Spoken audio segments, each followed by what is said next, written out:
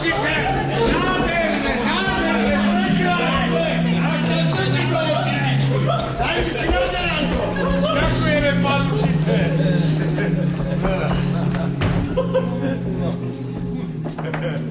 Na pána učiteľa, na jeho prekrásny prípitok na slavu vlastného národa. Videli ste, pán učiteľ, tá moja sa z toho skoro došťala. A ja som sa skoro dosral, keď važecký zlaveniče napodobnil Žiga. To nie je žiadne umenie. Stačí len vystihnúť charakterové nedostatky toho, ktorého národa a potom ich len patrične zveličíte. Je tu hrozný prievan. Bilo, zatvor prosím ťa tie dvere. A na Slovákov, na Slovákov by ste vedeli napodobniť, to skúste. Slovákov. Mm. Mm. Škoda. Á, Z nášho národa si srandu nerobte. My sme dosť trpeli. A ty neslo. Pán učiteľ! Máte nesmierne umelecké nadanie. Keď náš spevokol pod vašim vedením zaspieval hymnu, aj páni z hlavného mesta sa čudovali, čo všetko dokážete s našim sprostým ľudom. Áno, ale nezaškodilo by, keby ten prostý ľud vedel trochu aj čítať a počítať. Veď toto, toto, pán Farár, toto je to. A, a cigánov viete napodobniť? Skúste. Bilo, pozri, pozri. Ja, ja, presne, ja sa doserem. Počúvaj ma. Však nevyrušuj stále. A nežer.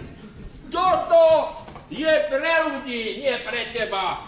Pán Karman, ja neviem, či ste už počuli, ale môj brat začal u nás v dedine vydávať aj časopis. A sám doň napísal častušku. Áno.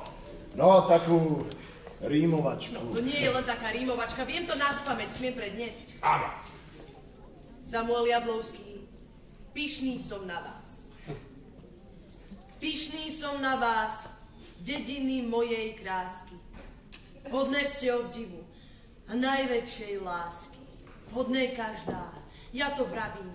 Lebo takých žien ja a devušiek takých, hoď pochodil som už dosť a dosť po svete, nevidel som a viac aj nikdy neuvidím.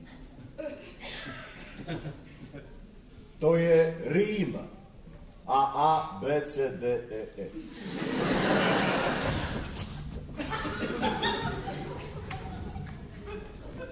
Anielik môj. Milinočka. Milinočka. Tak čo, Samko, dobre bolo?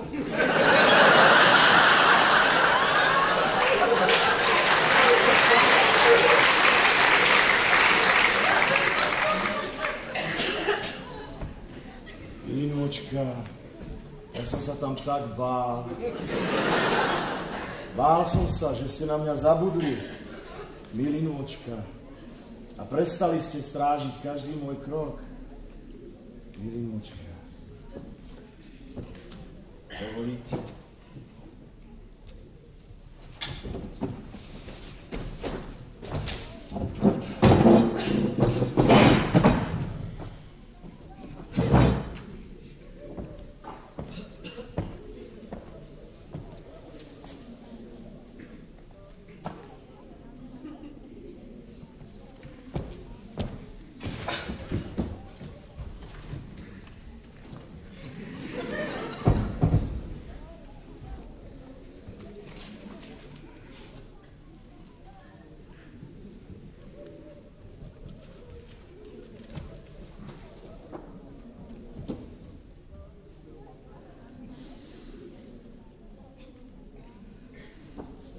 do it.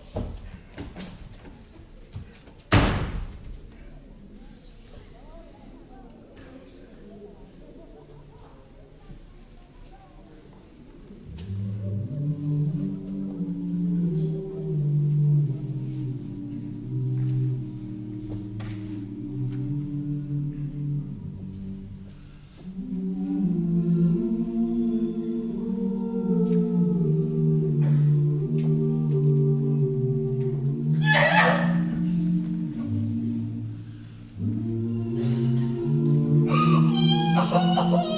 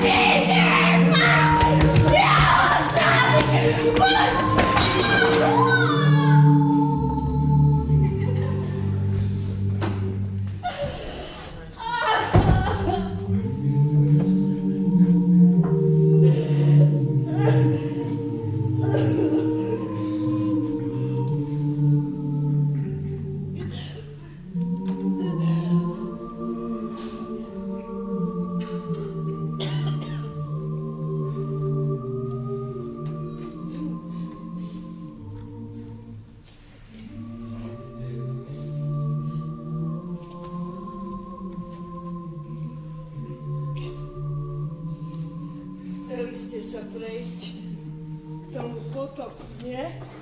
Prosím. Voda tam hučí. Beleje sa v mesačnom svíte ako by vrela.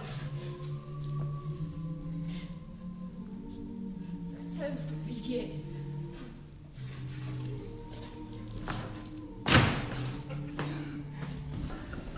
Doktor, no. e, potrebujem s vami niečo prebrať súkromne. No. Odvete niekam preč slečnú milinu. Ja. Potom príďte ku kostolu. Farár sa obesil na veľkom zvone. Teraz, keď je najviac roboty.